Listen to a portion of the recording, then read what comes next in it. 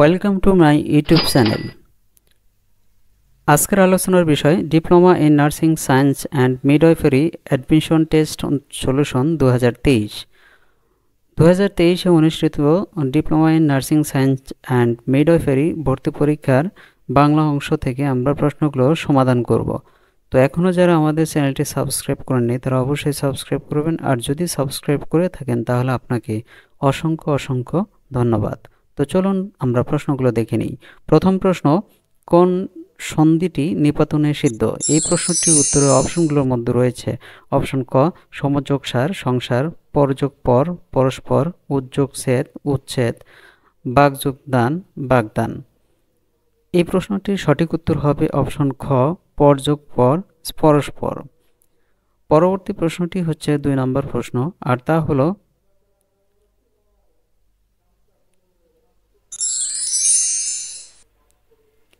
রাষ্ট্রপতি কোন লিঙ্গ? এই প্রশ্নটির উত্তরের অপশনগুলোর মধ্যে রয়েছে অপশন ক, নিত্যলিঙ্গ, খ, পুলিঙ্গ, গ, উভয়লিঙ্গ, ঘ, স্ত্রীলিঙ্গ। প্রশ্নটির সঠিক উত্তর হবে অপশন ক, নিত্যলিঙ্গ। পরবর্তী প্রশ্নটি হচ্ছে তিন নম্বর প্রশ্ন, আর তা হলো কোনটি তৎসম শব্দ? প্রশ্নটির উত্তরের অপশনগুলোর মধ্যে রয়েছে গিন্নি, বৃষ্টি, হাঁড়ি, অন্ন। প্রশ্নটির সঠিক উত্তর হবে অপশন খ বৃষ্টি। পরবর্তী প্রশ্নটি হচ্ছে চার নম্বর প্রশ্ন, আর তা হলো, বাংলা সনের প্রবর্তককে এই প্রশ্নটির উত্তরের অপশনগুলোর মধ্যে রয়েছে বাংলা একাডেমি, সম্রাট আকবর, শায়স্তা খান, সম্রাট শাহজাহান। প্রশ্নটির সঠিক উত্তর হবে অপশন খ, সম্রাট আকবর। পরবর্তী প্রশ্নটি হচ্ছে পাঁচ নম্বর প্রশ্ন, আর পাঁচ নম্বর প্রশ্ন হচ্ছে বৈচিত্র্যময় ধ্বনি উচ্চারণের জন্য প্রধান ভূমিকা পালন করে কোনটি? এই প্রশ্নটির উত্তরের অপশনগুলোর মধ্যে রয়েছে দন্ত, তালু, ওষ্ঠ জিব্বা প্রশ্নটির সঠিক উত্তর হবে অপশন ঘ জিব্বা পরবর্তী প্রশ্নটি হচ্ছে ছয় নম্বর প্রশ্ন, আর তা হলো কোনটি দেশি শব্দ? প্রশ্নটির উত্তরের অপশনগুলোর মধ্যে রয়েছে কলম, চুলা, তোষক মোশেক প্রশ্নটির সঠিক উত্তর হবে অপশন খ চুলা। পরবর্তী প্রশ্নটি হচ্ছে সাত নম্বর প্রশ্ন। আর সাত নম্বর প্রশ্নটি হল রক্ষকই ভক্ষক? বাক্যটি কোন জাতীয় বাক্য? প্রশ্নটির উত্তরের অপশনগুলোর মধ্যে রয়েছে যৌগিক বাক্য, সরল বাক্য সরল বাক্য, মিশ্র বাক্য। প্রশ্নটির সঠিক উত্তর হবে অপশন গ, সরল বাক্য। পরবর্তী প্রশ্নটি হলো আট নম্বর প্রশ্ন। আর আট নম্বর প্রশ্নটি রাবণের চিতা, বাগধারাটির অর্থ কী?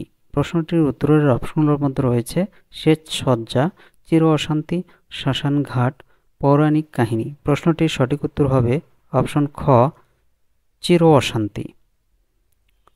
পরবর্তী প্রশ্নটি আমরা দেখব, নয় নম্বর প্রশ্ন, আর তা হলো মনোমাঝি, এর ব্যাসবাক্য কোনটি?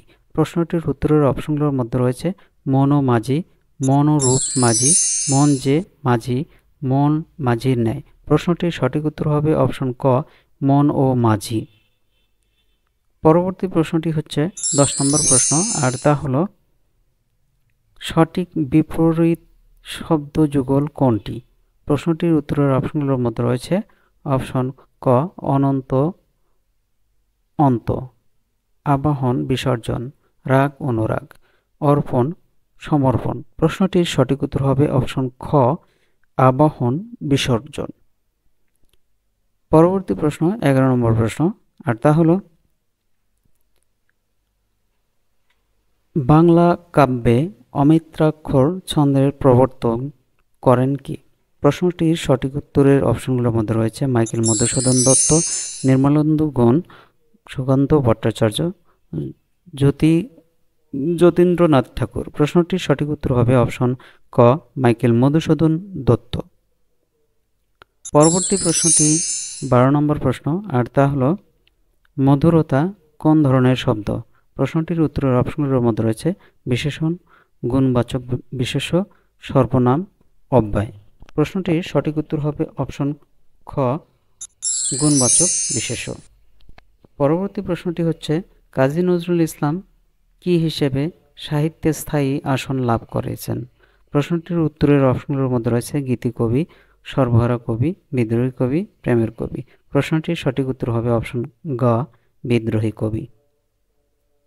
পরবর্তী প্রশ্নটি চোদ্দ নম্বর প্রশ্ন, আর তা হলো, কারাগারের রোজ নামচা বইটি রোজচা বইটি করা রচিত। মাওলানা আব্দুল হামিদ খান ভাসানী তাজউদ্দিন আহমেদ, বঙ্গবন্ধু শেখ মুজিবুর রহমান, কাজী নজরুল ইসলাম। প্রশ্নটির সঠিক উত্তর হবে অপশন গ, বঙ্গবন্ধু শেখ মুজিবুর রহমান। পরবর্তী প্রশ্নটি, চশমা কোন ভাষার শব্দ? প্রশ্নটির উত্তরের অপশনগুলোর মধ্যে রয়েছে আরবি, পর্তুগিজ, ফার্সি, বাংলা। প্রশ্নটির সঠিক উত্তর হবে অপশন গ, ফার্সি। ষোলো নম্বর প্রশ্নের উত্তর, ষোলো নম্বর প্রশ্নটি হচ্ছে সূর্য এর সমার্থক শব্দ নয় কোনটি? প্রশ্নটির উত্তরের অপশনগুলোর মধ্যে রয়েছে সবিতা, মিহির, আদিত্য। এই তিনটি কিন্তু সমার্থক শব্দ, অবনী সমার্থক শব্দ নয়, অতএব সঠিক উত্তর হবে অপশন ঘ, অবনী। সতেরো নম্বর প্রশ্ন দেখব আমরা। সতেরো নম্বর প্রশ্ন হচ্ছিল, নাটিকা কোন অর্থে স্ত্রীবাচক? প্রশ্নটির উত্তরের অপশনগুলোর মধ্যে রয়েছে বৃহদাতে ক্ষুদ্রাত্রে বিপরীতার্থে, সমার্থে। প্রশ্নটির সঠিক উত্তর হবে অপশন খ, ক্ষুদ্রার্থে। পরবর্তী প্রশ্নটি হচ্ছে, আঠারো নম্বর প্রশ্ন, আর আঠারো নম্বর প্রশ্ন ছিল, বাংলা ভাষা ও সাহিত্যের আধুনিক শাখা কোনটি? প্রশ্নটির উত্তরের অপশনগুলোর মধ্যে রয়েছে ছোট গল্প উপন্যাস, নাটক, কাব্য। প্রশ্নটির সঠিক উত্তর হবে অপশন ক ছোট গল্প পরবর্তী প্রশ্ন হচ্ছে, উনিশ নম্বর প্রশ্ন। আর উনিশ নম্বর প্রশ্ন ছিল, কোনটি অকর্মক ক্রিয়ার উদাহরণ? প্রশ্নটির উত্তরের অপশনগুলোর মধ্যে রয়েছে সে খায়, বাবা মেয়েকে চাঁদ দেখাচ্ছেন, তারা ভাত খায়, আমি ভাত খেয়ে ঘুমাবো। প্রশ্নটির সঠিক উত্তর হবে অপশন খ, বাবা মেয়েকে চাঁদ দেখাচ্ছেন।